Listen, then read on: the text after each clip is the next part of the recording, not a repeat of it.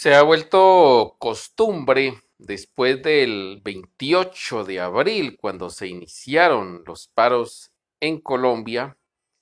que un grupo de jóvenes también en el municipio de Pitalito salgan a las calles a realizar protestas pacíficas, manifestaciones culturales, expresiones artísticas y también a pintar grafitis sobre eh, algunos establecimientos como la alcaldía municipal, el edificio de la Chapolera, incluso el colegio de la presentación y algunas viviendas privadas.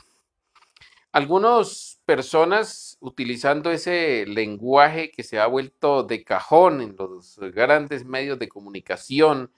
y estimulados por el mismo gobierno nacional, hablar de vandalismo, haciendo apología a los vándalos, a esa legión de esa tribu del norte de Europa que en el siglo IV invadió todo el centro de Europa, venido desde los países escandinavos y llegó prácticamente hasta el sur de Europa, llegando incluso a Grecia, destruyendo todo lo público. El vandalismo o el vándalo es sinónimo de destruir lo público, de apoderarse de lo público, de coger lo público.